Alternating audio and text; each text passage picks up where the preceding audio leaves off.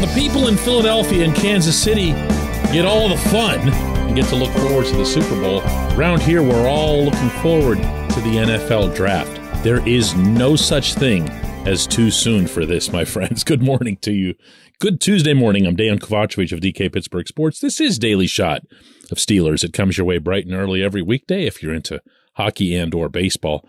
I also offer daily shots of Penguins and Pirates where you found this. It's Senior Bowl week for those fans of the 30 teams that aren't participating in the main event. And that's not so bad. It's uh it's become an interesting, increasingly interesting event in recent years. It's in Mobile, Alabama.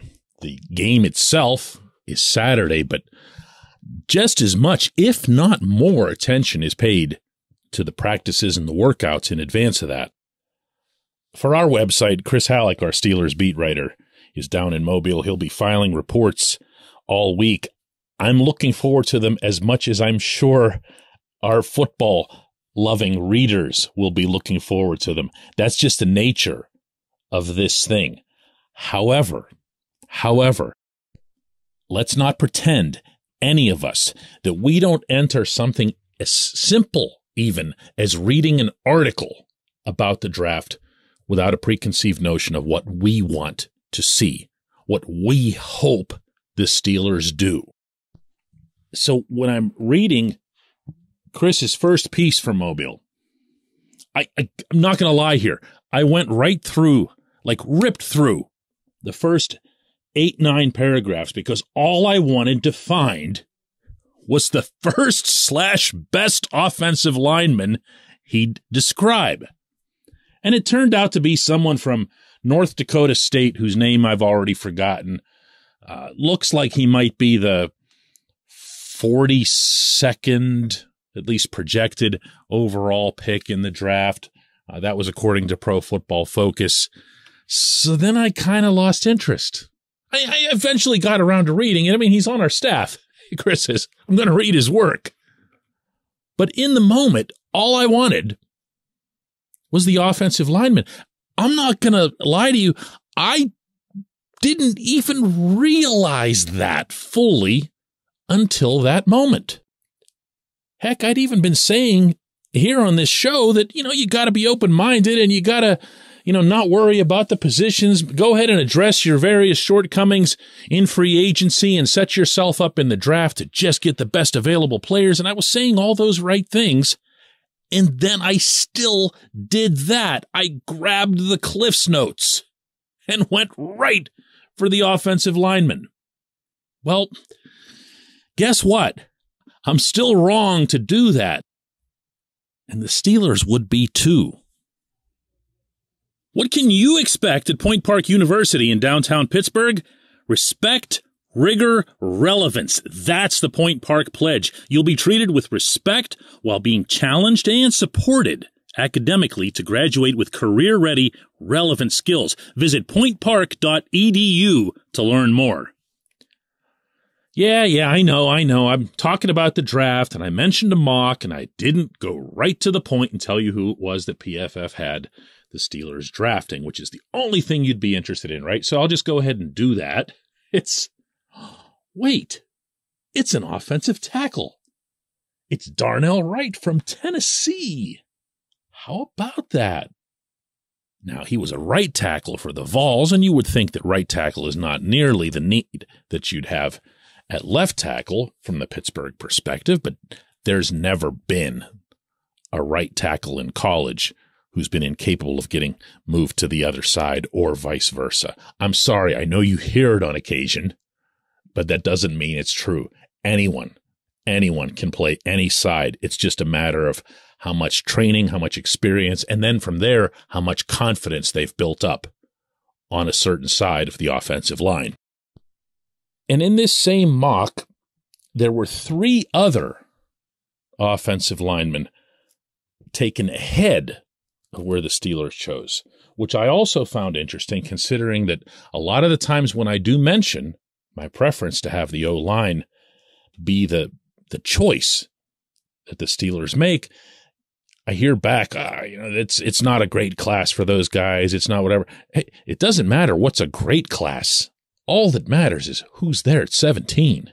You know, there's been great offensive line classes in recent years. And what you mean when you say that is enough to fill the top 10. Well, that's immaterial here. And in the Steelers' case, they'd have to trade up. I don't know that you're going to see them trade up again for a long time after Devin Bush. So, hey, don't worry about it. Don't worry about it. Don't be moving up. Don't be giving up a, a lower pick of any kind to go sliding north. Wait to see what falls and then go after the best player with one exception, with one positional exception. That's quarterback. I mean, I could throw running back into, but that's just way too obvious to even insult you with. That's it. That's it. Get the best player, the best football player.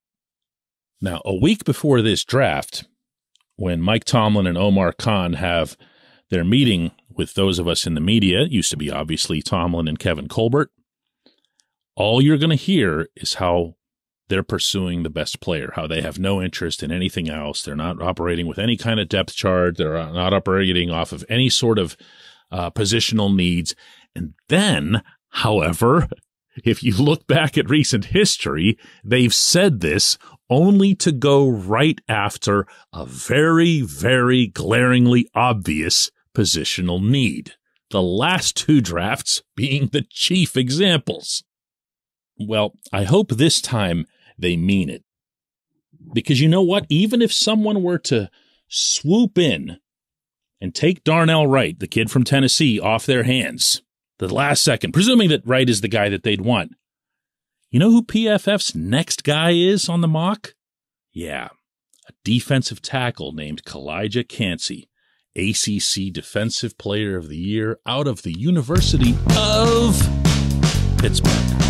With that next door familiarity. When we come back, J1Q.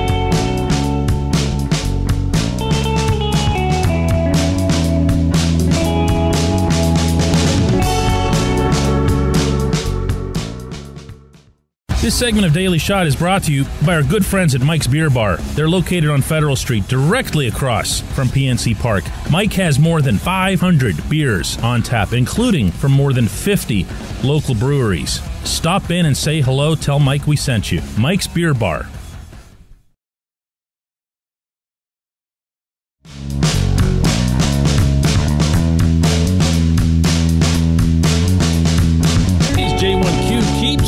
Subject matter on the offensive line. It comes from Slim. He says, Hey, DK, do you think Chuks Okorafor is playing up to that big contract he received last year? Also, we still need more beef in the trenches. No one would dispute you on that one, Slim. As for Chuks, uh, for anyone who doesn't know this, his salary and his cap hit for 2023 is going up to 13 million next year. I understand that offensive tackles, even right tackles, are expensive. I understand why. I talk about the offensive line probably as much as anybody anywhere. However, however, if you're going to be a $13 million tackle, you need to be in the Pro Bowl. You need to be making a real impact. You need to be a bastion of consistency. Chuks is not any of those three things. Take this, please, from someone who has a, a wonderful, at least from my own perspective, working relationship with Chuks. I think he's a terrific guy. I also think he's a freak of nature uh, in terms of his physical abilities.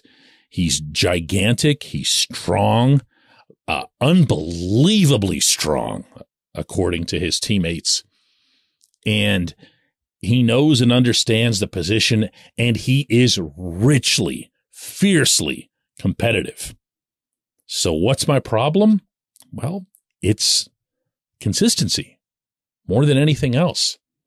If you watch tape of his final game, the Steelers' final game, obviously, against the Browns, you'll see, hmm, one out of every six snaps, you really won't like something.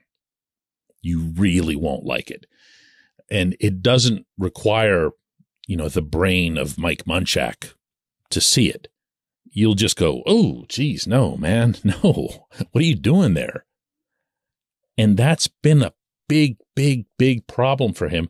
The principal problem with him since his arrival. Everyone's known all along what he can do. And everyone sees on occasion the, the positives to what he can do, the benefits to it. He had one play.